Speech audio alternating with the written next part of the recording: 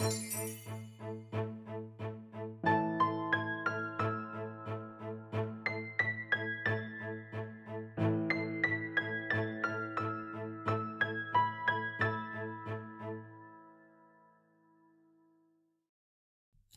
všechny vás srdečně zdravím na další zastávce po zapomenutých případech z minulosti. Dnes se podíváme na poměrně známý případ ženy, která se kvůli své posedlosti jedním konkrétním mužem rozhodla otrávit takřka celé město. Vraťme se tedy nyní do onoho čtvrtka 10. srpna roku 1871, kdy na dveře manželů Beardových na adrese Grand Parade číslo 64 v Brightonu zaklepal poslíček s podlouhlou krabicí, úhledně zabalenou v hnědém papíře. Emily Beardová, která jej přebírala, se prve domnívala, že jde o dárek od manžela, lékaře, který se toho času nalézal pracovně mimo domov. Adresu odesilatele však nepoznávala. Když krabici otevřela, srdce jí poskočilo radostí. Obsahovala několik ovocných koláčů, kandované ovoce a několik kousků ořechového perníku. Na papíru, v němž byl zabalen švestkový koláček velký asi jako čajový podšálek, stálo. Posílám vám několik domácích koláčů pro děti. Ty ovocné jsou obzvláště ochucené, abyste si na nich pochutnali. Určitě uhodnete, kdo vám to posílá. Obávám se však, že to nemohu prozradit. Doufám, že balíček dorazí včas, aby bylo vše ještě čerstvé. Emily ovšem neměla nejmenší tušení, kdo by odesilatel záhadného balíčku plného dobrot mohl být. Nepoznávala písmo ani iniciály GM, jimiž se podepsal. Usoudila však, že koláčky přijdou jí i dětem k duhu a schutí si je dají k sobotní svačině. Později téhož dne navštívil kurýr Grand Parade po druhé. Tentokrát však byly adresáty manželé Boysovi z čísla 59. I v tomto balíčku byly pochutiny, konkrétně dva kousky perníku, dvě makronky a dva tvarohové a dva rybízové koláče. Samostatně pak byly zabaleny dvě tartaletky, opatřené tímto vzkazem. Posílám vám nějaké koláče pro vaše dvě holčičky. Ty tartaletky jsou přímo pro vás. Dělala jsem je poprvé. Doufám, že se zase brzy uvidíme. Vaše stará přítelkyně J.N. Ani Elizabeth Boysová neměla nejmenší tušení, kdo je ona štědrá odesilatelka. Stejně jako paní Bírdová však nespatřovala na tomto nečekaném dárku nic zlého a krabici předala chůvě s pokynem, aby je druhý den po obědě naservírovala jejím dvěma malým dcerkám. Během pátečního dne začaly být po Brightonu doručovány další a další podobné balíčky obsahující koláče, ovoce i věcné dárky jako by se nějaký neznámý dobrodinec rozhodl zahrnout místní obyvatele z čisté laskavosti srdce milými pozornostmi. Pohnutky tohoto člověka však neměly s dobrosrdečností nic společného. Ve všech těchto domácnostech, které obdrželi překvapivý balíček, se brzy po požití jeho obsahu začaly projevovat zdravotní obtíže. Pálení v krku a na hrudi, nevolnost, zvracení, závratě a třesavka. Doktor Nathaniel Blaker byl tak v následujících dnech přivolán snad k tuctu podobných případů, kdy se všichni pacienti shodovali na jediném, že konzumovali potraviny, které jim kdo si anonymně poslal balíkem. Když se právě nalézal v domě Bírdových, kde byly nejhůře postiženy jejich dvě služebné, vyžádal si lékař zbytky obsahu tohoto záhadného balíčku. Při bližším pohledu na kandované ovoce bylo zřejmé, že kromě cukru je pokryto ještě vrstvou jiného bílého prášku, který doktor Blaker vyhodnotil dle příznaků postižených jako nějaký prudký jed. K dosažení úplné jistoty bylo ovšem zapotřebí provést patřičné analýzy – v každé z domácností, kde došlo k této podivné otravě jídlem, tak odebral potraviny, které ještě nebyly skonzumovány, včetně vzorků z vratků a odnesl je do Sasekské okresní nemocnice svému kolegovi Voltru Smithovi, který ve své praxi s toxickými látkami běžně pracoval. Netrvalo dlouho, aby zjistil, že zkoumaný kousek dortu obsahuje 580 mg arzénu, tedy množství tak velké, že by dokázalo zabít dvě dospělé osoby. S tímto hrůzným zjištěním tedy lékař okamžitě pospíchal na policejní stanici, kde předal všechny důkazy inspektoru Gibsovi. Odtud pospíchal do domácností, které byly zasaženy nejhůře, tedy u Bírdových a Bojsových, aby s úlevou zjistil, že se všichni postižení až na jednoho plně zotavili.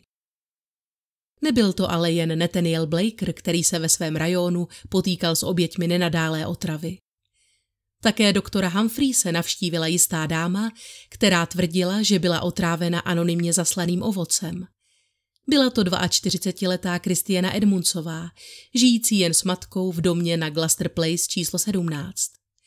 Uvedla, že obdržela záhadný balík obsahující jahody a broskve od neznámého dárce. Poté, co ovoce schutí snědla, se však u ní projevilo pálení v krku a silná nevolnost. Když se v doprovodu doktora Humphreese dostavila na policejní stanici k výslechu, inspektor Gibbs ženu okamžitě poznal. Již několikrát s ním měl tu čest od doby, kdy v září loňského roku přišla ohlásit, že se u ní objevily příznaky otravy po požití čokoládových pralinek, náhodně zakoupených v cukrárně Maynards. Tato kauza záhadných otrav plněnými čokoládovými bombóny ostatně hýbala posledních několik měsíců celým městem. Lidé trpěli závažnými zdravotními obtížemi, aniž by kdokoliv dokázal vysvětlit, jak se jed do cukrovinek vlastně dostal. Slečna Edmundsová byla vůbec první, kdo tehdy možnou otravu pralinkami ohlásil.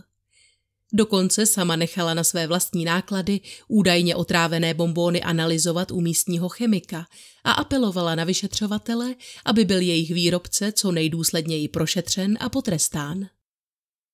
Nyní přišly na řadu záhadné balíčky, rozesílané náhodně brightonským obyvatelům, obsahující otrávené potraviny a i nyní byla tato dáma jednou z obětí. Když vstupovala do Gibsovy kanceláře, zdálo se dokonce, že si svou roli v případu vysloveně užívá. Inspektor tedy začal uvažovat, že buď má tato dáma se sakramenskou smůlu, nebo má s celým případem společného víc, než by kdo býval řekl. Kristiana Edmundsová se narodila 3. října 1828 v Margate v hrabství Kent jako nejstarší dcera architekta Williama Edmundse a Anne Kristiany Burnové. Celkem vychovávala rodina Pětra Tolestí. Kromě Kristiany ještě o rok mladšího chlapce Williama, Mary narozenou roku 1832, Louisu narozenou o rok později a Artura, který přišel na svět po osmileté pauze roku 1841. Po finanční stránce si rodina díky příjmům otce Williama nemohla ani v nejmenším stěžovat a všem dětem se díky tomu dostalo soukromého vzdělání. V Mount Albion House, soukromé internátní dívčí škole v Ramsgate, si pak Kristiana osvojila všechny dovednosti a způsoby, jimiž měla disponovat pravá viktoriánská dáma. Tedy mluvit plyně francouzsky, ovládat hudební nástroj, tančit, tužit své tělo zdravým pohybem se cvičebním nářadím a upevňovat svou zbožnost. Harmonický život rodiny Edmundsových ovšem brzy zcela rozmetali otcovi psychické potíže. Během několika let se kdysi úspěšný architekt proměnil v blouznící trosku a jeho chování mělo pochopitelně neblahý vliv na všechny okolo. Jak se později ukázalo, muž trpěl dlouho neléčenou příjicí, kterou se musel nakazit ještě před sňatkem s N a její terciární fáze, neboli v tomto případě pozdní neurosyfilis, jej zcela připravil o rozum. Zoufalé manželce nakonec nezbylo, než svěřit svého muže roku 1843 do péče psychiatrického zařízení. To byl ovšem pouze začátek všech potíží. Když Kristiena dosáhla 20 let, začaly se u ní ponenáhlu projevovat prudké emocionální výbuchy, které ovšem nikdy neměly dlouhého trvání a lékařem byly zhodnoceny jako obvyklý projev ženské hysterie. Svým okolím byla tedy mladá žena nadále považována za poněkud předrážděnou a rozcitlivělou, avšak po duševní stránce zdravou. Brzy se však objevily znepokojivé příznaky také u jejího nejmladšího bratra Artura. Jeho nálada byla stále pochmurnější, často zlostná a začal trpět prudkými záchvaty vzteku. Krátce před nástupem těchto příznaků utrpěl chlapec ránu do hlavy, která však podle matky nebyla natolik silná, aby vyvolala takové změny. Přesto o této události raději spravila rodinného lékaře, který Arturovi následně diagnostikoval epilepsii. Roku 1860 již zoufalá matka přestala synovi výbuchy vzteku a násilné výpady zvládat. Situace až příliš připomínala stavy, které zažívala se svým manželem před deseti lety a vyčerpaná žena se nakonec uchýlila k bolestnému, byť jedinému přijatelnému řešení, když syna umístila do královského Earlswoodského sanatoria, tedy speciálně vybudované nemocnice pro mentálně postižené, neboli, jak se říkalo tehdy idioty, poblíž Rejgetu v Seri. Tento ústav, otevřený slavnostně roku 1854 princem Albertem, se na rozdíl od jiných ústavů pro duševně choré pišnil tím, že svým pacientům poskytoval také možnost vzdělání a dalšího zaměstnání v naději, že se stanou finančně nezávislými a nebudou tedy již pro rodinu představovat takovou zátěž. Poté, co se Arthur trvale přesunul do svého nového domova v Earlswoodu, Kristiana s matkou v bytě rychle osaměli. William se již dávno osamostatnil. Mary se provdala a Louisa v té době přebývala v domě svého zaměstnavatele, tiskaře Frederika Childa v londýnské čtvrti St. Giles. Následovalo několikeré stěhování, kdy ženy nakonec zakotvily v Canterbury v Burgate Street číslo 23, kde si pronajali obytné prostory nad cukrárnou. V následujících letech zasáhla rodinu hned dvojitá tragédie. Arturovi se v Earlswoodu zjevně dobře nedařilo, neboť v létě roku 1866 se jeho zdravotní stav prudce zhoršil, v posledních měsících trpěl těžkou podvýživou a v listopadu téhož roku zemřel. V červnu následujícího roku zemřela také jeho sestra Luisa, která se mezi tím stala manželkou váženého chirurga a nevlastní matkou jeho tří dětí. Skolabovala zcela náhle, uprostřed slunečného dne na terase. Jako příčinu jejího úmrtí stanovil lékař celkové vyčerpání v kombinaci s příliš silnou periodou. Nutno ovšem podotknout, že ani Luisa nebyla zcela psychicky zdráva. Trpěla depresivními stavy a hysterickými záchvaty a rok před svou smrtí se pokusila připravit o život skokem z okna. O tom, že byl výskyt psychických obtíží v této rodině celkem častý, svědčí lékařské záznamy i svědectví N. Edmundsové. Nebyl to totiž jen Kristianin otec, nýbrž také dědeček z matčiny strany. John Byrne, který zemřel 8 let před narozením své vnučky, byl kapitánem královské námořní pěchoty. N častokrát vzpomínala, jak její otec podléhal nejrůznějším nervovým záchvatům, či se choval zcela iracionálně a dětinsky. Přesto se mu navenek dařilo působit jako vyrovnaný a zdravý muž.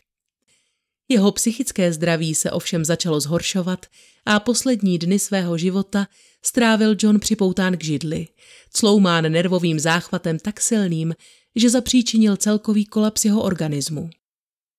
Po smrti dvou nejbližších příbuzných se tedy matka s dcerou rozhodli v Canterbury již déle nezůstávat, ale začít nový život na novém místě – tím se mělo stát přímořské město Brighton ve východním Sussexu. Stejně jako Margate, i Brighton se začal rozvíjet v 18. století díky letnímu turismu a víře návštěvníků v léčivé a blahodárné účinky mořské vody. V době, kdy Kristiana s matkou do města přicestovali, tedy roku 1867, mělo město přes 77 tisíc obyvatel a nalézalo se na vrcholu své prosperity. Ženy si pronajali pokoje na Marlborough Place číslo 15 ve velkém domě v centru poblíž královského pavilonu a nábřeží, který patřil účetnímu a dražebníkovi Georgi Overovi a jeho ženě Alice. Dvojice se s manželi okamžitě zpřátelila a když se Kristiena trpící neuralgií zmínila, že by si potřebovala ve městě najít nového lékaře, Overovi jí ochotně doporučili svého známého, doktora Charlesa Bearda. Ten ordinoval přímo ve svém domě na adrese Grand Parade číslo 64. Byl to muž, jenž se v komunitě těšil velké oblibě a disponoval četnými profesními uznáními. Lidé jej vnímali jako příjemného, přátelského lékaře, vždy ochotného pomoci. Medicínu vystudoval na prestižní Trinity College v Cambridge, kde roku 1855 obdržel bakalářský titul. O dva roky později získal lékařskou licenci a nějaký čas strávil jako student v londýnské nemocnici svatého Bartoloměje. Když si roku 1861 zřizoval v Brightonu soukromou praxi, jeho dosavadní působení a příjemné vystupování mu již od samého počátku zajistilo stabilní přísun pacientů z těch bohatších městských vrstev. Kristiana Edmundsová, která toho dne zaklepala na dveře jeho ordinace, k těmto movitým měšťanům nepatřila. Přesto i ji doktor Beard ochotně zařadil mezi své pacienty, ačkoliv toho později trpce zalitoval. O její zdravotní anamnéze z tohoto období je známo jen velmi málo. Víme pouze, že trpěla neuralgií, tedy bolestivými pocity v průběhu některých nervových drah, převážně na rukou a v obličeji. V 19. století se tyto příznaky běžně léčily chininem a železem, což byla směs, kterou také na předpis doktora Bierda Kristiena později nakupovala od Isaaca Gereta, lékárníka z Western Road. Neuralgie byla lékaři v té době často připisována hysterii. Zda se ovšem žena lékaři svěřila s rodinou anamnézou či svými někdejšími hysterickými záchvaty, není známo. Čím častěji ovšem Kristiana lékaře se svými potížemi navštěvovala, tím rychleji se prvotní profesionální vztah měnil v blízké přátelství. Žena se zájmem naslouchala Běrdovým vyprávěním o jeho cestách na sever a o jeho vojenských eskapádách v Itálii, kdy se v roce 1860 přidal k britským dobrovolníkům a pomáhal generálu Garibaldimu. Pacientka jej zase na oplátku zasvětila do své vášně pro umění a lékař, příjemně překvapen jejím talentem, navrhl, že by mohla vytvořit anatomické nákresy některých částí těla, které by si mohl později vyvěsit na stěnách Sasekské okresní nemocnice. Kristiena polichocena lékařovým zájmem se tedy pokoušela udržovat vzájemný kontakt co nejčastěji. Dvakrát až třikrát týdně mu psala dopisy a snažila se navštěvovat pod nejrůznějšími záminkami jeho dům tak často, jak jen to bylo možné. Nedbajíc na to, že by tím mohla ohrozit lékařův spokojený rodinný život. V té době byl Charles Beard již sedmým rokem ženat a s manželkou Emily vychovával čtyři děti. Šestiletého Hugha, čtyřletého Artura, roční Emily a čerstvě narozeného syna Franka. Kristiena o lékařových rodinných poměrech pochopitelně věděla. Dokonce se intenzivně zpřátelila s jeho ženou Emily, kterou, jakožto svou novou přítelkyni, využívala jako záminku k návštěvě Beardových. Žena pochopitelně neměla o kristieniných citech vůči svému muži nejmenší tušení a přijímala tudíž 42-letou ženu ve své domácnosti se zcela bezelstnou upřímností a srdečností. Náklonost Kristieny Edmundsové k doktoru Beardovi se stala později předmětem intenzivních spekulací. Vzhledem k nedostatku dochovaných důkazů je však velmi obtížné zodpovědět otázku, jaká byla skutečně povaha tohoto vztahu. Obecně se však předpokládalo, že v ženině případě šlo o běžný případ neopětované lásky. Je nutno nicméně poznamenat, že doktor Beard v tomto ohledu její náklonost nijak aktivně neodrazoval. Nadále přijímal její vroucí dopisy, v nichž se podepisovala pseudonymem Dorotea a nepřestal se s ní stýkat ani v pracovním, ani v osobním životě. Dalo by se říci, že i on se cítil kristianiným vřelým zájmem polichocen a těšilo jej udržovat tento zdánlivě nevinný flirt. Nemohl ovšem vědět, že s každým dalším dopisem i setkáním se z citů 42-leté ženy rodí nezdravá destruktivní posedlost. Projevy těchto změn, které se podepisovaly i na chování Kristiany Edmundsové, zaznamenali jako první její domácí, George a Alice Overovi, kteří si všimli, že z té upjaté, tiché a laskavé ženy, která před pár lety do Brightonu přicestovala, zbylo jen pramálo. Vystřídala ji žena zcela zmítaná vášněmi, nervózní a s divokým pohledem, jejíž vzrušené chování vyvolávalo v manželích nepříjemné pocity.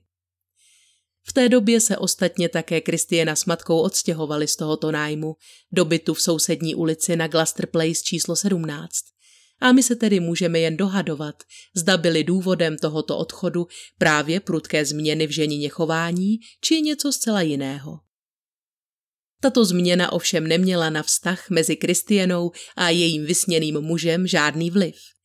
Nadále jej zahrnovala dopisy, při žádné příležitosti neopomněla zmínit jeho jméno a vymýšlela stále nové a nové způsoby, jak upoutat jeho pozornost. En si mezi tím dělala o dceru čím dál větší starosti.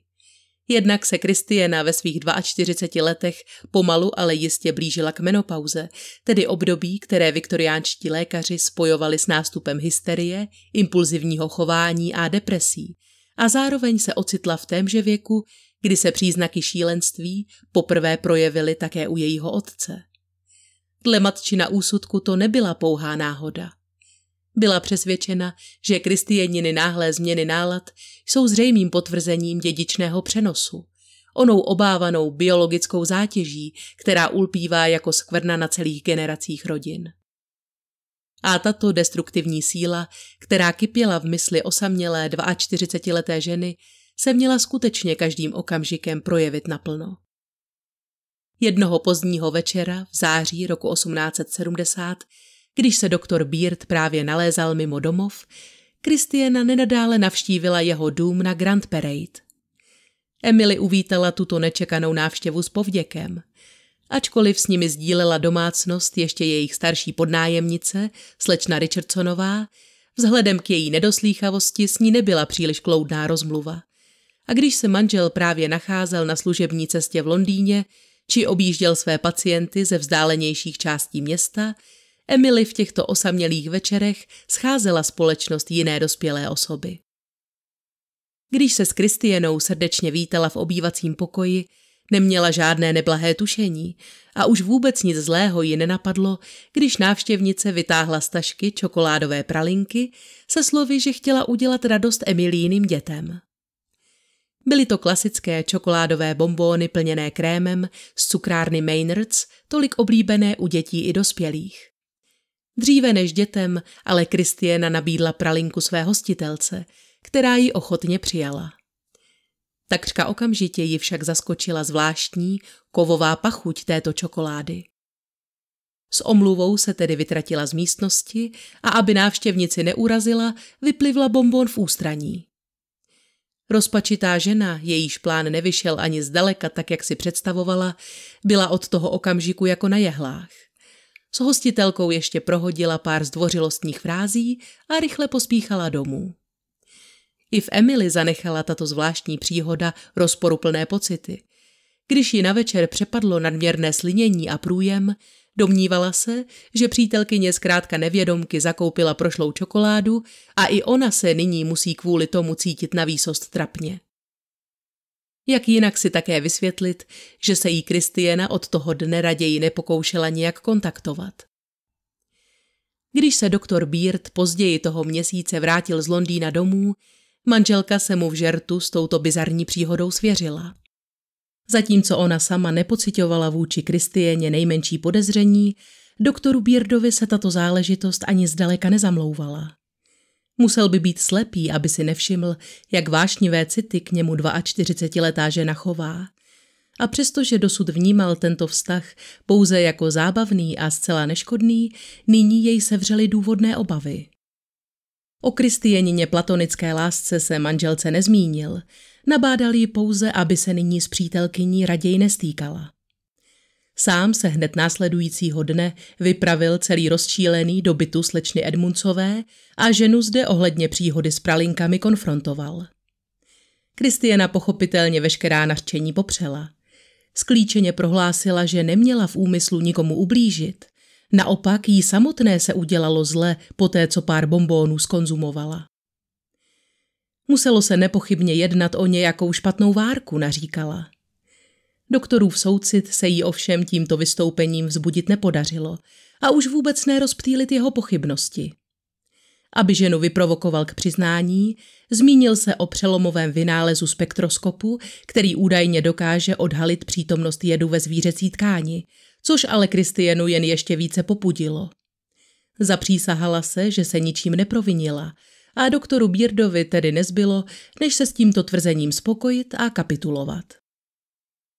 Když se vracel domů, přemítal v duchu, zda jeho podezření nebylo přece jen chybné. Kristiena se bránila s takovou vervou, bylo jen obtížné uvěřit, že by mu dokázala při takovém nervovém vypětí lhát do očí. O případech kontaminace potravin už bylo ostatně napsáno ledacos.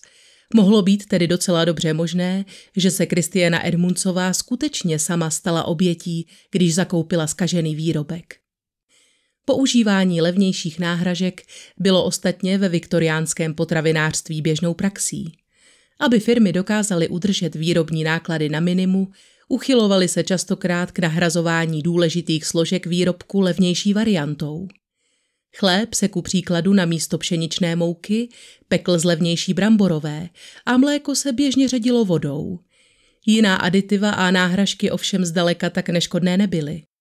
Jako ku příkladu síran měďnatý, který dodával zavařeným okurkám a další zelenině jasně zelenou barvu, nebo kyselina boritá, používaná k odstraňování na kyslé chuti zkaženého mléka. K oživení starých čajových lístků zase výrobci neváhali sáhnout po mědi. K jednomu z nejtragičtějších případů došlo v Bradfordu roku 1858, kdy se více než 220 lidí, včetně několika dětí, náhodně otrávilo arzenem z mátových pastilek. Důvodem bylo, že namísto toho, aby se jejich výrobce pan Neil držel jasně dané receptury obsahující na jednu várku 23 kg cukru, rozhodl se tuto drahou surovinu nahradit z části síranem vápenatým, což je samo o sobě alarmující, představíme-li si, že pastilky měly obsahovat látku, která se běžně používá například při silničním značení. Situace se ovšem ještě zkomplikovala, když u dodavatele došlo k záměně a průmyslník obdržel místo sudu s bílým práškem v podobě síranu vápenatého oxid arzenitý. Pan Neil tudíž nemohl vědět, že každá krabička z této várky pastilek nyní obsahuje smrtelné množství jedu. Ačkoliv masivní otrava mátovými pastilkami patří k ojedinělým případům tohoto typu, pravdou zůstává, že mnoho cukrářů používalo v té době při výrobě nebezpečné látky bez ohledu na možné následky.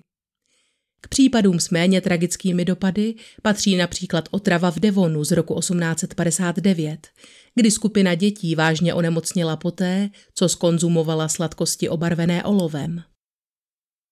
K používání tohoto kovu k obarvování svých výrobků se následně přiznal také jeden cukrář z Bristlu, který tím přivodil vážné zdravotní potíže šesti dětem. Tyto incidenty vedly roku 1860 k přijetí zákona, který měl nahrazování surovin v potravinách a nápojích zamezit, zredukovat používání nebezpečných látek na pracovišti a zavést přísnější hygienické normy pro skladování potravin. Než ovšem vešel v platnost, množství firem používalo tyto nebezpečné náhražky do svých výrobků určených ke konzumaci dál. Společnost Maynards, z jejíž výroby pocházely pralinky zakoupené Kristianou Edmundsovou, se ovšem v této oblasti těšila dobré pověsti. Za celá ta léta nebyl zaznamenán jediný případ otravy. Jako logicky uvažující člověk však doktor Beard musel připustit, že i u Maynardů se mohlo začít šetřit. Přesto se plně neodklonil ani od svého původního podezření, tedy že mohla s čokoládovými bombóny manipulovat jeho pacientka. Ta se mezi tím pokoušela po onom vyhroceném rozhovoru obnovit z přetrhané vazby. Přiměla doktora Bierda k dalšímu setkání, během nějž se jej pokoušela znovu přesvědčit, že je jeho podezření pomílené. Ať však žadonila a obhajovala se sebe víc, nebylo jí to nic platné. Lékař o opětovné navázání přátelství nestál ani co by se za nehet vešlo. Kristiana se tedy rozhodla změnit strategii a jala se bývalému příteli vyhrožovat, že pokud nestáhne své falešné obvinění, bude společně s matkou nucena podniknout právní kroky proti této hanebné pomluvě. Charles Beard neměl, kromě svého podezření, v rukou ani jediný důkaz o tom, že by Kristiana bombóny skutečně otrávila. Rozhodl se tedy rezignovat a své tvrzení odvolat. Nadále se však s touto dámou stýkat nemínil. Spálil většinu jejich dopisů a tím pro něj byla ona neblahá zářijová událost uzavřena.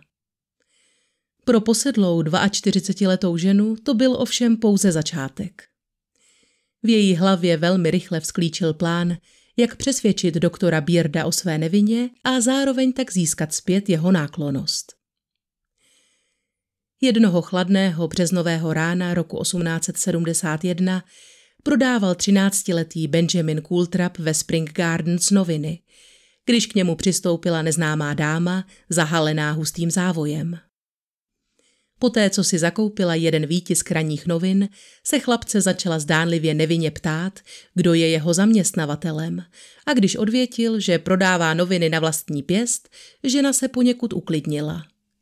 Pokračovala otázkou, zda Benjaminovi chutnají čokoládové pralinky. Právě si u Maynarda koupila celý sáček, ale není si jistá, zda budou dobré.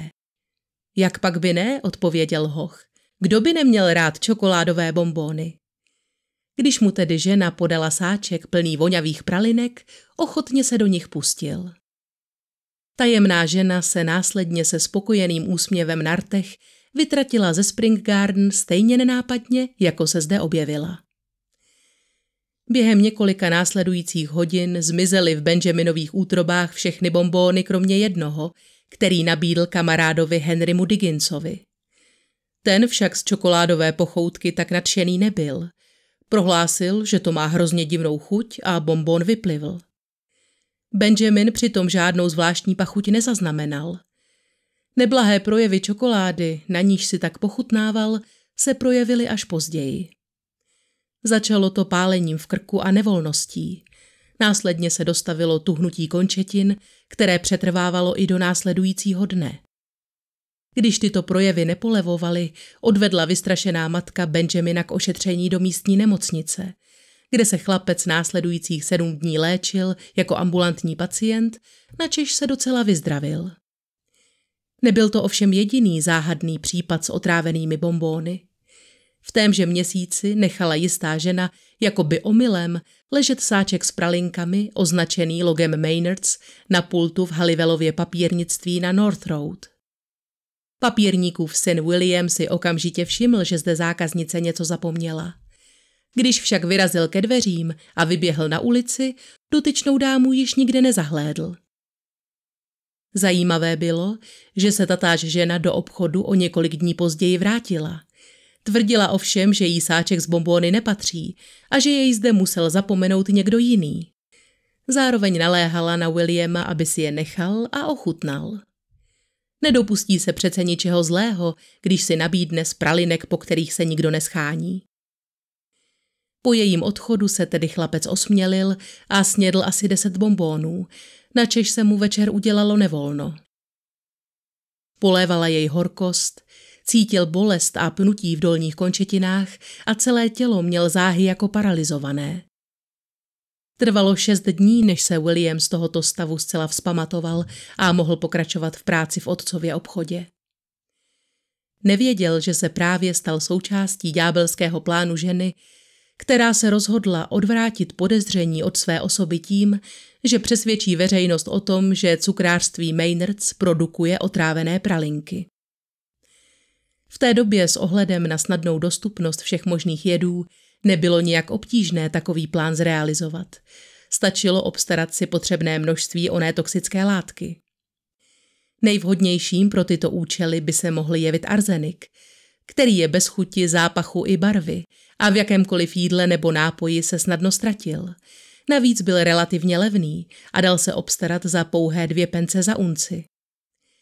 Kristiena se ovšem z neznámých důvodů rozhodla jinak a zvolila strychnin.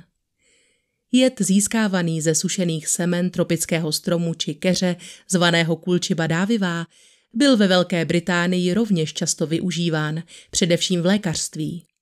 A to i přesto, že dospělého člověka by dokázalo usmrtit pouhých 30 gramů tohoto prášku, což je přibližně jedna šestina smrtící dávky arzénu. Strychnin byl lékaři v malých dávkách předepisován na širokou škálu onemocnění, od hluchoty a bolesti hlavy až po revmatismus či choleru. Londýnský lékař dr. Rowland zase ku příkladu označil strychnin za zázračný lék pro ženy a používal jej k léčbě menstruačních bolestí, ztráty menstruace či hysterie. Ve 40. letech 19. století se strychnin stal také základní složkou v boji proti škůdcům, zejména krysám, a byl volně dostupný pro širokou veřejnost. Navzdory tomu a jeho silné toxicitě byla úmyslná otrava strychninem poměrně vzácná. V letech 1750 až 1914 se jednalo pouze o 41 případů otravy strychninem z celkových 504, které byly projednávány u britských soudů. Důvod je na snadě. Hořká chuť strychninu byla v otráveném pokrmu či nápoji velmi snadno rozpoznatelná, ačkoliv ne každý ji dokázal hned vycítit. Jako například Benjamin Coultrap a William Halliwell, kteří spocívali téměř celý sáček pralinek, aniž by si všimli čehokoliv podezřelého zatímco Emily Beardová i Henry Diggins otrávený bonbon svorně vyplivli. Přestože se u Emily objevilo nadměrné slinění a poruchy zažívání, vyhnula se tak charakteristickým příznakům, které se obvykle objevují již po 15 minutách po požití intoxikované potraviny – a projevují se abnormálním zbystřením všech smyslů, pálením v krku, obtížemi při polikání, závratěmi, stuhlostí žvíkacích svalů a stavy úzkosti. Po tomto čtvrt až půl hodiny trvajícím prvním stádiu se pocit úzkosti stupňuje, až zcela ochromí celý organismus. Veškeré věmy jsou pro otráveného člověka mnohonásobně zesíleny – má tedy tendenci se bát a lekat i zcela běžných zvuků či obrazů. Nastupuje třas, který zpravidla následují bolestivé stahy svalstva, které postupně nabývají na síle i intenzitě. Takzvaný záchvat strychninových křečí, který trvá přibližně dvě minuty. Během tohoto záchvatu pak dochází k zástavě dechu a smrti. Naštěstí pro dva prve zmíněné chlapce, kteří bombóny skutečně snědli, Nevpravila Kristiena do pralinek tak velkou dávku jedu, která by je dokázala usmrtit.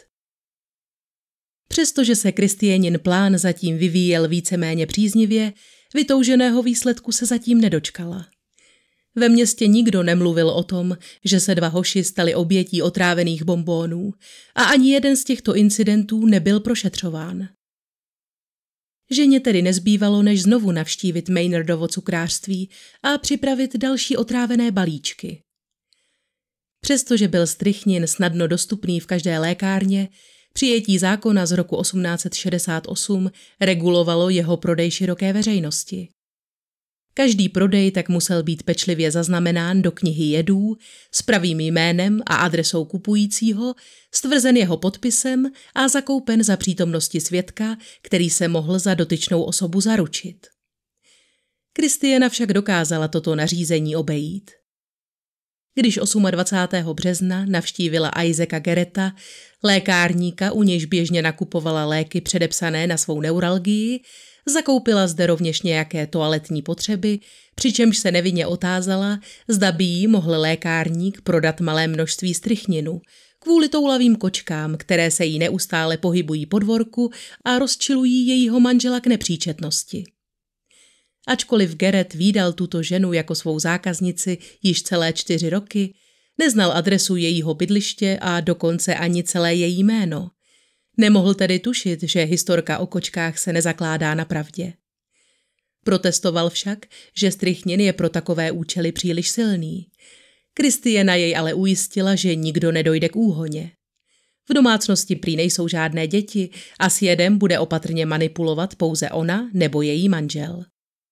To lékárníka poněkud uklidnilo a souhlasil, že ženě jed prodá, pokud přivede svědka, kterého oba znají.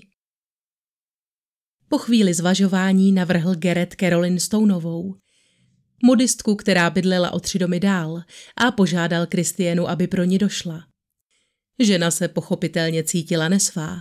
Nebyla si jistá, jak bude Carolyn na její žádost reagovat. Nejprve u ní tedy zakoupila krajkový závoj a prohodila s ní pár slov, než se odhodlala otevřeně vznést svůj požadavek. Rovněž paní Stounová znala ženu pouze od vidění – ta se jí představila jako paní Vůdová a tvrdila, že jsou s manželem přírodovědci, kteří schánějí jed na preparaci ptáků. Pan Geret jí jej nicméně odmítá prodat a žádá, aby tuto transakci někdo dosvědčil. Caroline Stoneová byla neobvyklým požadavkem své zákaznice zaskočena, protože za 30 let svého podnikání se s ničím podobným nesetkala. Žena, která k ní čas od času zašla pro galantérní zboží, nicméně působila seriózně a obchodnice neměla žádný důvod pochybovat o jejich úmyslech. Souhlasila tedy, že ji do lékárny doprovodí. Prodej tedy za dohledu paní Stounové úspěšně proběhl a Kristiana Edmundsová, podepsaná jako paní Woodová z Hillside v Kingstownu, si spokojeně odnesla deset zrnek strychninu. Poté, co žena ve svém bytě na Gloucester Place připravila další dávku vražedných bombónů, vypravila se opět do Spring Gardens. Sousední čtvrti neblaze proslulé největší chudobou a nejhoršími hygienickými podmínkami ve městě, kde již prvé oslovila svého prvního pokusného králíka Kamelota Benjamina.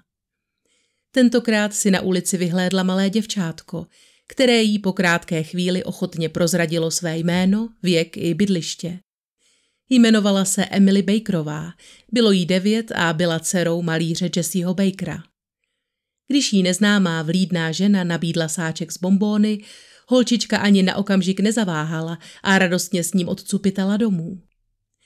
O několik dní později se Kristiena vrátila na takzvané místočinu znovu a tentokrát zaklepala přímo na dveře Bakerových.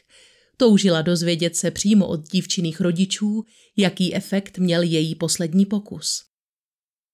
Emilijina matka Harriet se domnívala, že jde nejspíš o osobu, která z pověření anglikánské církve navštěvuje chudé rodiny. Proč by se jinak vyptávala na zdravotní stav Bakerovic dětí? Matka tedy neznámé ženě v dobré víře sdělila, že ostatní děti jsou v pořádku, ale Emily poslední tři dny prozvracela poté, co dostala čokoládu od nějaké neznámé paní. Kdo ví, jak by se tento příběh odvíjel dál, kdyby byla holčička toho dne doma a dárkyni o něch zlověstných bombónů na Prahu poznala. Nicméně se tak nestalo a Kristiana Edmundsová mohla i nadále pokračovat v realizaci svého plánu. Tedy přesvědčit veřejnost, že Maynardova cukrárna prodává otrávené pralinky.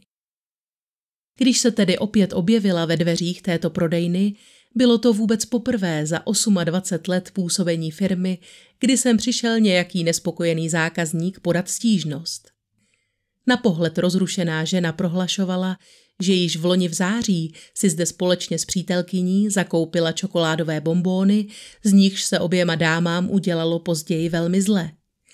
Nakupovala zde i v březnu a světe div se, ani tyto pralinky nechutnaly příliš dobře – Byly na první zkousnutí hořké a ona nyní pociťuje nepříjemné pálení v krku. Majitel byl zcela zaskočen. Byl si naprosto jist přesným technologickým postupem výroby svých čokolád a nedokázal pochopit, co se mohlo přihodit. Když žena naléhala, aby byly jeho pralinky podrobeny chemické analýze, John Maynard nemohl než souhlasit. S jedním čerstvým a jedním otráveným sáčkem se tedy slečna Edmundsová vypravila za lékárníkem Juliem Schweitzerem s žádostí, aby potřebné analýzy provedl. Muž zpočátku řečem o možné otravě příliš velkou váhu nepřikládal. Když však ochutnal jeden z podstrčených bombónů, názor rychle změnil. Pocit zadosti učinění, s nímž Kristiena odcházela z jeho lékárny, byl nevýslovný. Věřila, že nyní snad konečně padne stín podezření za zdravotní obtíže Emily Beardové na výrobce cukrovinek a Charles Beard ji vezme na milost. Přesto ve své činnosti pokračovala dál. Za asistence Caroline Stoneové si u pana Gereta vyzvedla další dávku strychninu. Ty kočky se snad na dvoře množí po desítkách, tvrdila, když přebírala zakoupené množství, jímž by dokázala zabít 20 dospělých či 40 malých dětí. A i tentokrát získala jed bez větších obtíží.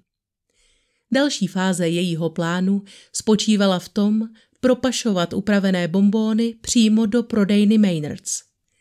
Tak, aby si je zde mohl nic netušící zákazník zakoupit, bez toho aniž by tušil, že obsah sáčku prošel cizíma rukama. Aby na ně nepadl ani nejmenší stín podezření, najala si slečna Edmundsová pro tyto účely prostředníka v podobě 12-letého hocha jménem William Tyle, Jehož nejprve za úplatu poslala pro pralinky, následně sáček nepozorovaně vyměnila a přiměla hocha, aby šel sladkosti reklamovat s odůvodněním, že si chtěl původně koupit bombóny jiné. Prodavačka zboží poněkud neochotně přijala a skutečně jej chlapci vyměnila. Tutéž transakci provedla žena ještě několikrát, pokaždé s jiným chudým malým chlapcem ze čtvrti, který takovou pochůzku pro pár pencí ochotně udělal.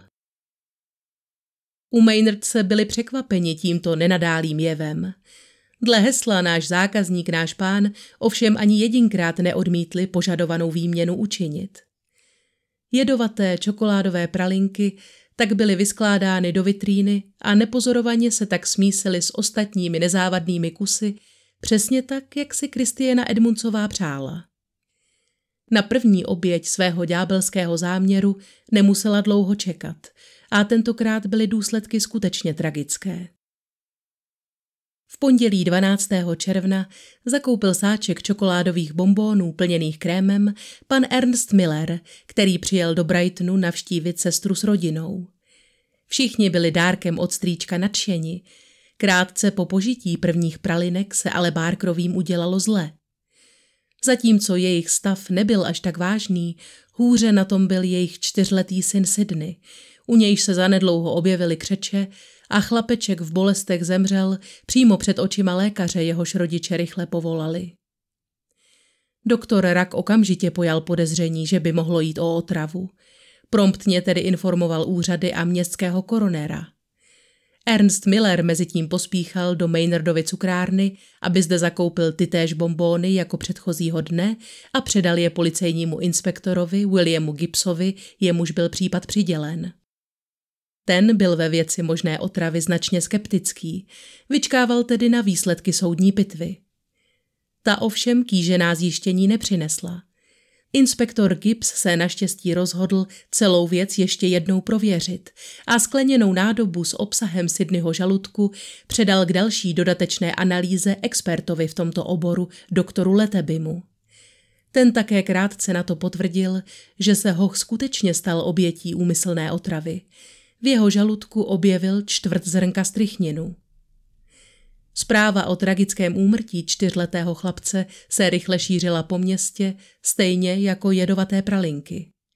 Přestože způsobili mnoha občanům Brightonu nepříjemné zdravotní obtíže, žádné další oběti na životech si naštěstí zatím nevyžádali. Když Kristienu Edmundsovou kontaktovala policie, žena nebyla zaskočena.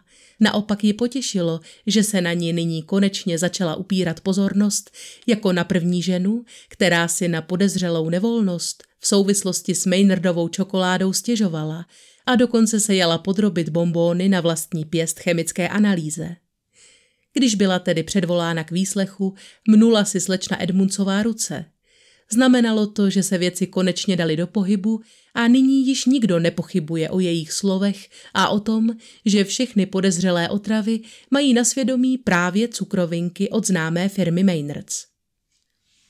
Sotva opustila výslechovou místnost, spěchala i hned žena do domu Bírdových, aby o tomto novém vývoji situace informovala svého vysněného muže. Lékař se však tou dobou nacházel pracovně mimo město a jeho žena jej odmítla o těchto novinkách dopisem informovat. Mezitím docházelo v Brightonu k dalším a dalším otravám.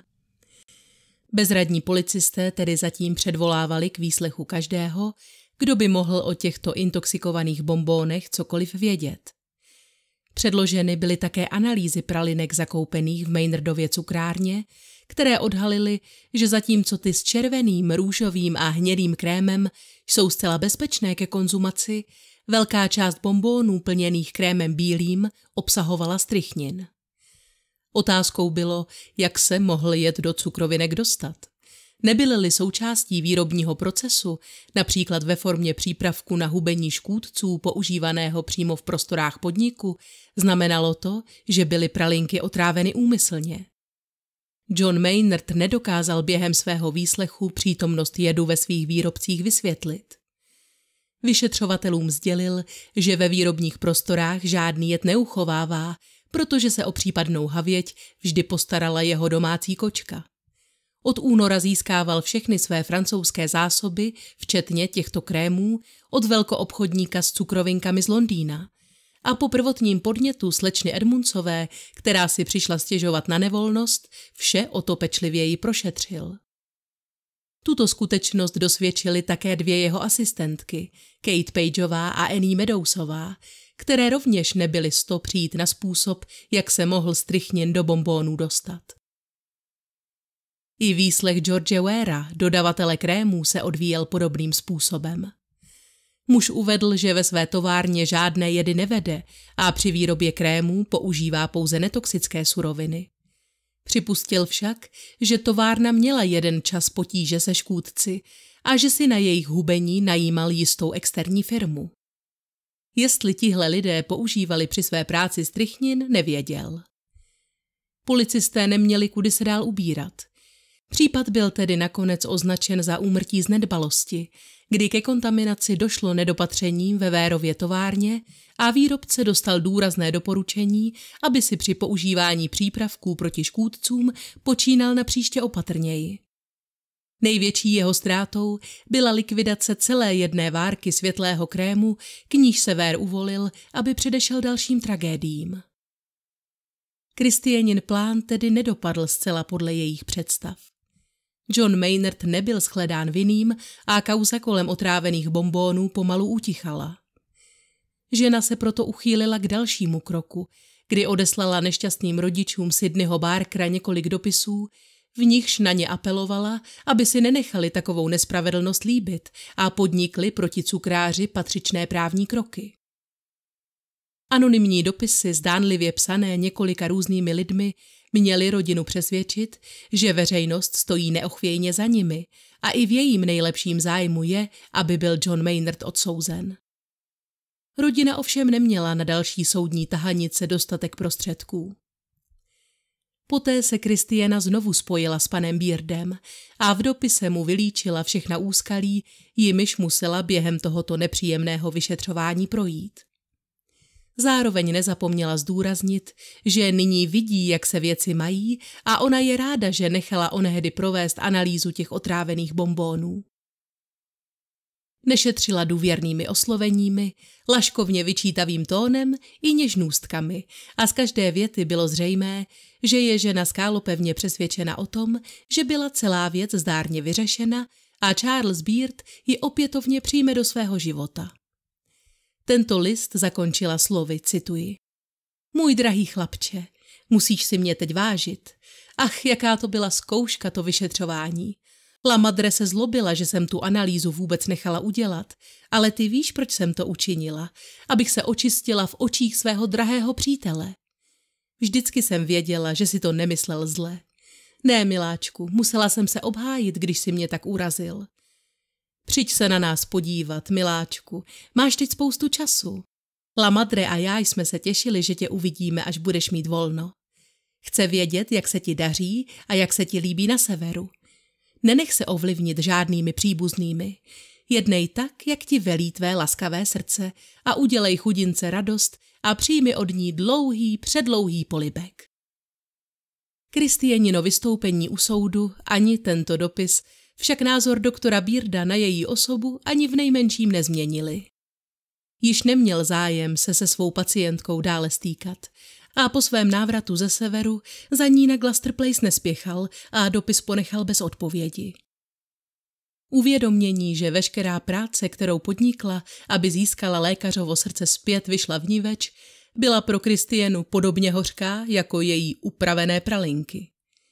Její posedlost tímto mužem však byla natolik silná, že se nemínila nechat odradit a nadále usilovala o setkání. Když se jí po zdánlivě nekonečných šesti měsících konečně podařilo s lékařem sejít, tato schůzka ovšem také neprobíhala tak, jak by si žena představovala. Beard jí suše oznámil, že jejich vzájemné korespondenci je konec a že si nadále nepřeje, aby jej Kristiena kontaktovala. Přiznal rovněž, že všechny dosavadní listy, které od ní obdržel, ukázal manželce, neboť před ní již nechce nic skrývat. To, že Charles odhalil Emily Kristieniny niterné a intimní dopisy, bylo pro ženu zdrcující. Byl to navíc jasný signál, že tento vztah je již opravdu definitivně u konce. Toho dne zastihla N. Edmundsová svou dceru ve stavu krajního rozrušení. Obsedantně prý přecházela po pokoji a křičela, že snad zešílí, což jen prohloubilo matčiny obavy. A to ani nemohla tušit, jak spletité ďábelské plány se v ceřině nevyrovnané mysli nyní rodí. Byla připravena udeřit znovu a ještě intenzivněji, což ovšem znamenalo se dopředu dobře pojistit a zbavit se veškerých možných důkazů proti svojí osobě. 14. července proto oslovila na ulici dalšího malého chlapce a požádala jej, zda by pro ní nemohl doručit jeden dopis. Ten byl adresován Isaacovi Geretovi, od nějž žena v minulosti ve velkém získávala strychnin. V dopise, který u mě sfalšovala tak, aby působil jako listina z úřadu městského koronera, pak žádala Gereta, aby chlapci předal svou lékárenskou knihu jedů, neboť je nezbytně nutné ji prověřit v rámci probíhajícího vyšetřování. Ať se to může zdát sebe nezodpovědnější, lékárník tomuto falešnému listu uvěřil a kompletní evidenci o nákupu jedů neznámému chlapci předal. Jaké pak bylo Geretovo překvapení, když mu Hoch po pár dnech přinesl knihu zpět, ovšem s několika vytrhanými listy. Pomyslel si co si o tom, že jsou metody vyšetřovatelů vpravdě nestandardní, stačilo by přece pořídit jejich opis. Kdo by se domníval, že vytržené stránky byly právě ty, na nichž byly zaznamenány nákupy strychninu paní Woodové z Hillside, ten by se ovšem velmi mýlil. Kristiana se namátkově zbavila listů s jinými záznamy, což svědčí pouze o tom, jak složitě byl její plán vykonstruován. Dále se rozhodla odchýlit od osvědčeného způsobu. Zkušenost ji naučila, že hořká chuť strychninu téměř pokaždé zabrání oběti skonzumovat plnou dávku. Praktičtější bude tedy arzén. Její snaha získat nový typ jedu od osvědčeného lékárníka by ale mohla vzbudit podezření. Rozhodla se tedy získat jej od něj, aniž by byla sama v lékárně přítomna. Nechala tedy do provozovny doručit další falešný dopis s žádostí o tuto látku, podepsaný zástupci lékárenské firmy Glazer a Kemp. V mysli Isaaca Gereta ovšem tento krok spustil varovné kontrolky. Na danou adresu se vypravil, aby zjistil, že si zde jet nikdo neobjednal. Jeho další kroky tedy směřovaly na policii, kde byl nucen vysvětlit, proč v jeho knize jedů scházejí stránky. Jak hovořil s tímto nervózním lékárníkem, začal mít inspektor Gibbs pocit, že se ocitl na stopě něčeho mnohem většího, než si byl doposud vůbec schopen představit. Nejprve ale musel přijít na kloup tomu, jaké jsou vlastně pohnutky neznámého traviče. Roku 1871 se jen v Brightonu nalézalo 650 lékárníků a drogistů. Pro Kristianu Edmundsovou tedy nebylo nijak obtížné zajistit si další zdroj jedu. Jméno jejího nového dodavatele bylo Samuel Bradbury. Žena se totiž nedávno doslechla, že lékárník hodlá ukončit svou činnost a jako takový se jevil ideálním pro její účely. Opět použila falešný dopis, zaštítěný jménem zástupců firmy Glazer a Kemp, na jehož základě získala tři unce arzenu, které by stačily k usmrcení stovek nic netušících občanů Brightonu. V té době ženu kontaktoval inspektor Gibbs s novými informacemi o probíhajícím vyšetřování. Spravil Kristienu o tom, že se ve městě objevily další případy otrav po požití Maynardových cukrovinek, načež mu žena obratem odpověděla, že nikdy nepochybovala o tom, že na vině je právě samotný výrobce, avšak nikdo jí nechtěl popřát sluchu. Když Gibbs pročítal její dopis, zaujalo jej, jak moc se písmo paní Edmundsové podobá tomu na falšovaném dopisu, který mu předložil lékárník Geret. Nemohl si být jist, zda jde o rukopis téhož člověka, proto se rozhodl obrátit na policejního písmoznalce Frederika Nedrklifta, aby oba tyto listy posoudil. N. Edmundsová mezi tím jen posmutněle přihlížela tomu, jak se její dcera mění před očima. Když navrhla, že by si mohli udělat výlet do rodného Margate a navštívit hrob sestry Louisy, zaradovala se matka, že se Kristiana přece jen touží trochu rozptýlit. Zapřísahala se, že pokud ani tento výlet nepřivede dceru na jiné myšlenky, bude nejlépe se z Brightonu trvale odstěhovat a vzdálit se tak od předmětu její posedlosti, tedy doktora Bierda. Nevěděla, že dceřin nápad má zcela jiné pozadí a návštěva Margate je pouze dalším bodem v jejím vražedném plánu.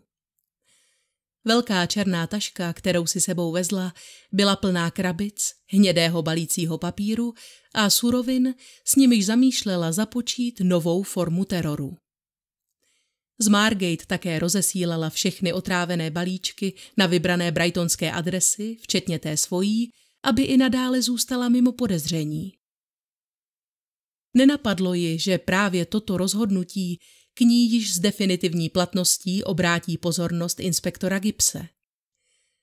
Poté, co žena po návratu navštívila jeho kancelář v souvislosti se sérií otrávených sladkostí a ovoce, inspektorovo podezření vůči této ženě ještě vzrostlo a její poslední slova jej jen utvrdila v tom, že může být do celého případu zapojená. Na odchodu totiž prohlásila, je to celé příšerné. Mám pocit, že toho člověka snad nikdy neodhalíte. Policista byl ovšem připraven učinit vše proto, aby tohoto zlovolného traviče dostal za mříže. V mezičase se proto rozhodl zvýšit povědomí veřejnosti o těchto otravách, když nechal 12. srpna zveřejnit v deníku Brighton Gazette výzvu občanům, aby jakoukoliv podezřelou okolnost, která by mohla souviset s těmito případy, okamžitě nahlásili na nejbližší stanici. Odměna za dopadení a usvědčení pachatele činila 20 liber. V případě doktora Bierda, který zareagoval na tuto výzvu jako jeden z prvních, ovšem nebyly motivací peníze, nýbrž spravedlivé rozhorčení. To, že se jeho žena stala již po druhé terčem traviče a v celé věci byla zaangažována rovněž jeho oddaná pacientka Kristiana Edmundsová, bylo příliš okaté, než aby to byla náhoda. S těžkým srdcem se tedy rozhodl sdělit veškeré informace, včetně kompromitujících detailů o svém korespondenčním styku se slečnou Edmundsovou úřadům. Zdůrazňoval sice, že jeho city k této ženě jsou čistě platonické, Věděl však, že jakýmkoliv náznakem mimo manželského románku riskuje rodinný skandál, zejména pokud by se tyto podrobnosti dostaly na veřejnost. Tento strach, jak vysvětlil inspektoru Gibsovi, byl také důvodem, proč policii neoznámil Kristianin první pokus o Emiliinu vraždu z loňského září. Neměl pro své tvrzení žádné důkazy, Neexistovali žádní věrohodní svědci a byla mu rovněž naznačena možnost právního postihu v případě, že bude proti Kristianě nadále vznášet falešná obvinění. Bohužel pro mnoho občanů Brightonu zasažených tímto travičským řáděním se tedy doktor Beard odhodlal relativně pozdě, ale přece. Jeho výpověď jen potvrdila inspektoru Gibsovi, že jeho podezření vůči Kristianě Edmundsové bylo správné – a vrchní inspektor White okamžitě vydal zatykač na zmíněnou ženu pro pokus o vraždu Emily Beardové. Když muži zákona oznámili překvapené ženě, z čeho je obviněna, vzkřikla prý, já, že jsem chtěla otrávit paní Beardovou? Kdo to říká? Vždyť jsem se málem otrávila sama. I navzdory protestům byla tedy převezena do věznice Louis, kde strávila noc ve vazbě, aby mohla ráno stanout před městskými soudci. Jak se dalo předpokládat, se zadržením Kristiany Edmundsové skončilo také rozesílání tajemných balíčků s otrávenými pochutinami. Následovala soudní slyšení, během nichž měla porota rozhodnout, zda bude Kristiana Edmundsová pročin, z nějž byla obviněna, vůbec souzena. Vzhledem k tomu, že stále ještě probíhalo rozsáhlé vyšetřování, bylo nakonec první slyšení odročeno pro nedostatek důkazů na 24. srpna. Vyšetřovatelé měli tedy dost času na to vyhledat veškeré svědky, kteří byli do série otrav zapojeni, tedy chlapce, které Kristiena využívala jako své poslíčky, včetně Adama Meje, který dostal za úkol získat od lékárníka Gereta knihu jedů. Ti všichni následně také usedli na svědecké lavici, kde svými výpověďmi zatloukali jeden hřebík do rakve nechválně proslulé travičky za druhým. Vystoupila také Emily Bírdová, která vylíčila celý průběh svého přátelství s Kristianou Edmundsovou, včetně pokusu o otravu v září 1870 a balíčku s koláči a ovocem, který jí byl 10. srpna následujícího roku doručen domů. Výpověď jejího muže, tedy dalšího klíčového svědka, jen umožnila doplnit mozaiku vražedného motivu obžalované. Hovořit veřejně o milostné korespondenci, kterou se slečnou Edmundsovou tolik měsíců vedl, pochopitelně nebylo pro lékaře nijak zvlášť jednoduché ani příjemné. Po této výpovědi však již nikdo nepochyboval o tom, že byla žena lékařem posedlá. Netoužila po ničem jiném, než zbavit se své sokyně v lásce a následné otravy byly tedy pouhým maskovacím manévrem pokusu o vraždu Emily Bírdové. Během několika následujících hodin soud vyslechl také dvě služebné Bírdových a doktora Netaniela Blakera, kteří všichni svorně vypověděli o zdravotních dopadech jedovatých koláčů zaslaných na Grand Parade. Lékárník Isaac Garrett zase předložil padělaný dopis, který údajně obdržel od koronera Davida Blacka a z firmy Glazer a Kemp. Jak se zdálo, obžaloba těmito svědectvími zcela válcovala obhajobu vedenou advokátem Charlesem Lembem, který vznášel proti těmto důkazům jednu námitku za druhou zcela neúspěšně. Vyslechnuta byla rovněž Carolyn Stoneová, která potvrdila Kristieniny nákupy jedu pod falešným jménem paní Vůdová, i služebná Edmundsových Charlotte Petitová, která vypověděla, že si její paní sebou do Margate vezla velkou černou kabelu plnou krabiček a hnědého balícího papíru. Poskytla též vyšetřovatelům zásadní fyzický důkaz v podobě bílého prášku, který objevila na tácu v kuchyni. Nejprve se domnívala, že jde o práškovou mirhu, tehdejší oblíbený lék na dermatologické potíže, když jej ale promnula mezi prsty, pojala podezření, že jde o zcela jinou látku. Poslední sáček, který v domácnosti Edmundsových zůstal, tak odnesla inspektoru Gibsovi a chemická analýza nadevší pochybnost prokázala, že jde o arzen. Stejným úspěchem bylo korunováno rovněž zkoumání ovoce a sladkostí, které Kristiena anonymně rozesílala po celém Brightonu. Jak se soudní slyšení pomalu chýlilo ke konci, podařilo se policistům úspěšně vypátrat další dva Kristieniny poslíčky, kteří jejím jménem nakupovali čokoládové pralinky v době smrti Sydneyho Barkera. Na svědecké lavici vystoupily rovněž dvě Maynardovy asistentky, které vzpomínali, jak se v obchodě náhle netrhly dveře s mladými chlapci, kteří chtěli vrátit a vyměnit zakoupenou čokoládu. Benjamin Coultrap a Emily Bakerová, dvě děti přiotrávené strychninem, pak pozitivně identifikovali Kristienu Edmundsovou jako dámu, která jim tuto závadnou sladkost nabídla. Písmoznalec Frederick Netherclift pro změnu vystoupil se svým verdiktem ohledně všech sfalšovaných i anonymních dopisů, které byly v této kauze odeslány, ať již rodičům zesnulého Sydneyho či panu Geretovi. Po důkladném zkoumání a porovnávání s dopisy Kristieny Edmundsové dospěl k závěru, že všechny listy psala táž osoba. Stejně jako lístečky se vzkazy, přiložené do balíčků s otrávenými potravinami. Na základě těchto důkazů soud rozhodl, že Kristiana Edmundsová bude souzena za vraždu Sydneyho Barkera, nikoliv však v Louis, kde byla dosud držena ve vazbě, nejbrž v Old Bailey. Když se 15. ledna roku 1872 dostavila obžalovaná před soudní tribunál, měla na sobě černý sametový plášť, na rukou měla černé rukavičky a vlasy hladce vyčesané do drdolu. Deník Daily News ji vykreslil jako ženu poměrně nevýraznou, se snědou pletí, výrazným čelem a mírně vystupující bradou, s krutými ústy a mohutnou živočišnou spodní čelistí. Asi není potřeba dodávat, že zájem veřejnosti o soudní proces s travičkou, která dlouhé měsíce terorizovala celé město, byl značný. Poté, co soudní úředník přečetl obžalobu, Kristiena tichým, ale pevným hlasem prohlásila, že je nevinná, čímž dala podnět k zahájení řízení.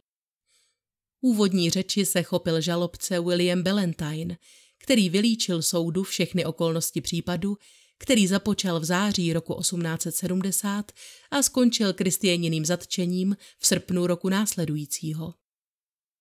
Stejně jako při soudních slyšeních se pak na svědecké lavici vystřídala řada svědků, včetně členů rodiny Barkrových, Isaaca Gereta, Carolyn Stoneové, cukráře Johna Maynarda a chlapců, kteří pro Kristienu nakupovali čokoládové pralinky. Během všech těchto výpovědí zůstávala obžalovaná klidná a netečná. Zapisovala si do svého bloku obsáhlé poznámky a bedlivě sledovala každý výrok žalobců. Teprve, když byl k výpovědi předvolán doktor Beard, se její chování prudce změnilo. Jak popisoval Daily News, její hruď se křečovitě vzedmula a po tváři jí přelétl šarlatový záblesk. Trvalo několik okamžiků, než se ženě podařilo znovu opanovat a navrátit se do původního stavu stoického klidu.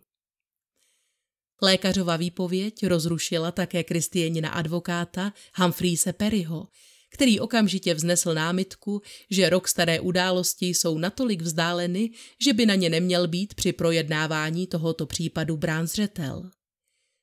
Soudce baron Martin sice souhlasil s Perim, že většina těchto důkazů není zcela relevantní, ale umožnil obžalobě doktora Bierda vyslechnout a zveřejnit tak povahu jeho vztahu se slečnou Edmundsovou. Další důkazy předložené obžalobou však Perry vyvrátit nedokázal. Ku příkladu, že Kristiena opakovaně nakupovala u Isaaca Gereta jed, aby jej následně vpravila do čokoládových bombónů. Nemohl také popřít výsledky analýzy rukopisu, která prokázala, že Kristiena při svém travičském řádění falšovala dopisy a rovněž psala vzkazy, které byly nalezeny v balíčcích s otrávenými pochutinami. Perry mu tedy nezbývalo, než připustit, že se jeho mandantka těchto činů skutečně dopustila. Argumentoval však tím, že něco takového mohla spáchat jen osoba zcela nepříčetná. Pro doložení svých slov předvolal matku obžalované, N. Edmundsovou, která se rozhovořila o rodinném zatížení v podobě možného dědičného šílenství. Její slova měl potvrdit též vězeňský kaplan Thomas Henry Cole, který obžalovanou v celé lujské věznice často navštěvoval. Uvedl, že hned při prvním setkání si povšiml zvláštního těkání Kristianiných očí a prázdného výrazu v její tváři. Očekával, že nalezne osobu obviněnou z tak závažných zločinů, sklíčenou a rozrušenou. Místo toho její žena zcela zaskočila tím, když během rozhovoru o svých činech propukala nahodile v smích. Zdálo se, že není schopná racionální argumentace. Jindy jí náhle z očí vytryskly slzy, aby je záhy opět vystřídal záchvat smíchu. Z toho kaplan usoudil, že vězeňkyně rozhodně není duševně zcela zdráva. Ve stejném duchu se vyjádřili také lékaři, kteří Kristienu vyslýchali v době její vazby v Newgate, kam byla po změně místa konání soudního procesu transportována. Všichni se shodli na tom, že tato žena postrádá jakékoliv chápání morálních důsledků svého jednání a není příčetná. Na tato slova reagoval žalobce Ballantyne slovy, zda to znamená, že obžalovaná nedokáže rozlišovat mezi dobrem a zlem, což byla podle tehdejších McNaughtonových pravidel jediná podmínka, kdy se obžalovaný mohl dovolávat nepříčetnosti. Doktor Charles Lockhart Robertson odvětil, že do jisté míry ano. Zároveň ale připustil, že když slečna Edmundsová podávala jed nevinným osobám, věděla, že se dopouští něčeho špatného. Ballantyne tedy uzavřel obžalobu slovy, že v tomto případě je zcela vyloučeno, aby byla obžalovaná obhajována stavem nepříčetnosti, neboť pokud si byla vědoma, že je otrava z hlediska zákona nepřípustná a z hlediska morálního veskrze špatná věc, pak je vina z trestného činu a musí být podle toho také souzena. Ve své závěrečné řeči k porotě pak vyzval soudce baron Martin její jednotlivé členy, aby zvážili následující dvě otázky. Za prvé dala Kristiena otrávené pralinky chlapcům, aby je vraceli Maynardovi za účelem prodeje dalším osobám? Pokud je odpověď kladná, musí porota vynést rozsudek o vině. Za druhé, pakliže se domnívají, že se slečna Edmundsová nacházela v takovém duševním stavu, že nebyla za své jednání zodpovědná, je na místě připomenout vynalézavé a důmyslné metody, jichž při svém řádění a zakrývání důkazů užívala. Od rozdávání otrávených čokolád náhodným dětem na ulici, přes obvinění vůči Johnu Maynardovi až po falšování dopisů ve snaze zničit veškeré stopy svého počínání. Trvalo něco přes hodinu, než se porota usnesla na jednomyslném verdiktu. Když předseda poroty prohlásil Kristienu Edmundsovou vinou z vraždy Sydneyho Barkera a soudce baron Martin ji odsoudil k trestu smrti, působila klidně a nevzrušeně, jako by jí stále ještě nedocházelo, v jak vážné situaci se ocitla. Zřejmě proto, že doufala, že z ní ještě na poslední chvíli vyvázne. Když se jí totiž soudní úředník tázal, zda existuje nějaký důvod, proč by měla být exekuce odložena, Kristiena náhle znachověla a prohlásila, že jeden choulostivý důvod by tu byl. Je prý totiž v jiném stavu. Bylo to poprvé od případu Mary Ann Huntové v roce 1847, kdy se žena hájila těhotenstvím. Ačkoliv neexistovala reálná možnost, že by Kristiena byla skutečně gravidní, už jen proto, že posledních pět měsíců strávila ve vazbě, soud musel brát její tvrzení vážně. Lékařská prohlídka ovšem nic takového neprokázala. Když doktor Riley oznámil odsouzené výsledek tohoto vyšetření, zdálo se, že si Kristiana poprvé plně uvědomila, v jak závažné situaci se nachází. Zoufalý nářek, v nějž propukla, zamrazil všechny přítomné v zádech. Snad skutečně sama věřila, že nosí pod srdcem dítě milovaného doktora Bearda. Na každý pád tím padl i poslední argument, který mohl travičku zachránit před šibenicí. Následujícího rána byla tedy vlakem transportována zpět do Louis, kde měla být poprava uskutečněna. V myšlenkách se však evidentně odmítala se svým osudem smířit. Z ničeho nic začala na celé kupé vykřikovat jméno doktora Bírda, obvinovat jej ze svého úpadku, načež dřív, než mohla eskorta jakkoliv zasáhnout, otevřela okénko a pokusila se z jedoucího vlaku vyskočit. Policistům se sice podařilo odsouzenkyni včas spacifikovat a v jejím zoufalém pokusu jí zabránit, po zbytek cesty však byla neklidná a nepřestávala o doktoru Bírdovi hovořit. Veřejnost a zástupci tisku mezi tím horlivě diskutovali o výsledku tohoto procesu. Na jedné straně stál populární nedělník Reynolds, který Kristienu označil za hříšnou zrůdu a k její údajné nepříčetnosti se stavěl velmi skepticky. Na opačném názorovém pólu však stál ku příkladu týdeník The Era, který přihlížel schovývavě především k rodinné anamnéze a považoval odsouzení slečny Edmundsové za hanebný počin britské spravedlnosti. Všichni pochopitelně volali po adekvátním trestu pro travičku. Šibenice se však mnoha lidem zdála vzhledem k duševnímu stavu odsouzené přece jen až příliš drastickým řešením. Je až s podivem, jaké sympatie si žena, kterou v uplynulých měsících mnozí proklínali, po svém odsouzení k smrti získala. Řada duchovních v jejím rodném městě Margate dokonce sepsala petici podepsanou soudci a místní honorací, aby byla Kristiěně udělena královská milost. Podobná petice vzešla také z Manchesteru a svůj postoj přehodnotili dokonce i někteří obyvatelé Brightonu. Nelze s jistotou říci, že důvodem ke změně byly skutečně tyto petice a občanské iniciativy zasazující se o zmírnění trestu – na každý pád soudce umožnil opětovné prošetření prvotního lékařského posudku Kristieny Edmundsové. Ministr vnitra poté jmenoval dva renomované lékaře, Sira Williama Galla a doktora Williama Orange, inspektora v známém sanatoriu pro choromyslné Broadmoor, aby vynesli ve věci duševního stavu této ženy definitivní verdikt. Po dlouhém, důkladném prošetřování dospěli tito odborníci k závěru, že odsouzená si není schopná uvědomit, že spáchala vraždu a její obsedantní chování a utkvělé myšlenky lze označit za projev šílenství. Ve svém závěrečném prohlášení Gal uvádí, že by tedy mělo být s odsouzenou zacházeno odpovídajícím způsobem, čímž nepřímo naznačil prominutí nejvyššího trestu. O dva dny později, tedy 25. ledna 1872, byla konečně oznámena zpráva, na kterou Kristiena tolik čekala. Ministr vnitra Bruce přijal výsledky lékařské zprávy a prohlásil ženu za nepříčetnou. Rozsudek smrti byl tímto zrušen a odsouzená převezena do ústavu Broadmoor, kde měla strávit zbytek svého života. Ať již byla Kristiana Edmundsová šílená nebo ne, za zdmi psychiatrického ústavu se její psychický stav ještě zhoršil.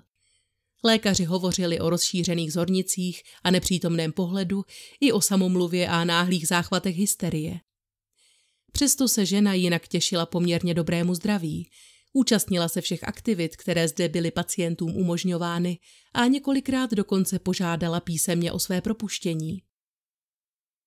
Přestože zde uváděla, že se cítí již o mnoho lépe, vyhověno jí nebylo. Zemřela stářím 19. září roku 1907, tedy po 35 letech strávených v tomto ústavu. Ačkoliv Wikipedie uvádí, že měla Edmundsová na svědomí bezmála 30 úmrtí, žádné dochované prameny to nedokazují a smrt Sydneyho Barkera byla jediná, která byla v souvislosti s tímto případem prošetřována a za níž byla žena také souzena. Je samozřejmě pravděpodobné, že Sydney nebyl jediný, kdo v důsledku otravy čokoládovými pralinkami zemřel.